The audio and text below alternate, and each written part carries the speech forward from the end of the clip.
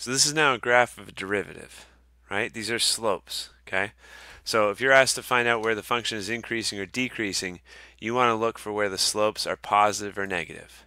Look right here, even though the function, uh, even though the graph that we're seeing is going down, the function, the original f, not this one, but the original f is increasing. These are positive slopes. This is like a positive 3, so that means the line has a slope of 3 at that point. This has gone down, but it still has a slope of like 1 right? Because the y value here is 1 and the y values in the graph of a derivative are the slopes. So this function is increasing. Let me put some numbers here. Uh, it's increasing from negative infinity to negative 1.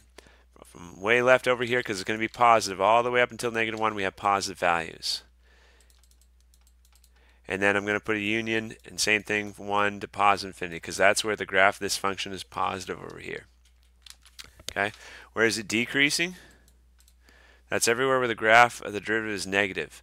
So it's negative, negative, negative, negative, negative, all the way up to zero. But look, I have to jump over zero because it's neither increasing nor decreasing at exactly zero. The slope is zero. So that's all the places where we're below the x-axis. That's where the derivative is negative. Okay, and then we can use this to help us, to help us identify local extrema. Okay, um, at x equals negative 1, we at least have a local max. And I'll show you why. Because look, we don't know what the original f function looks like.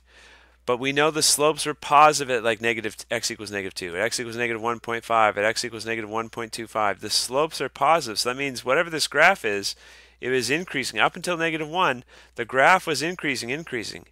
And then once we hit negative 1, then the slopes turn negative, so the graphs start decreasing. So where you switch, reading it left to right, when you switch from positive to negative slopes, you've hit a local max. Positive to negative slopes, we hit a local max. We hit a peak of a mountain, okay?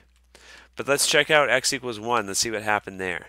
The slopes are negative, negative, negative. And now the slopes are getting bigger, but they're still negative slopes, right? So it's still decreasing. So at x equals 1, this thing has been decreasing. It's just decreasing at a slower and slower rate. So it's leveled off there. And now the slopes are positive. So that means the graph is increasing. Okay?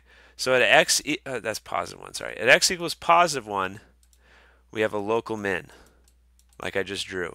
Okay?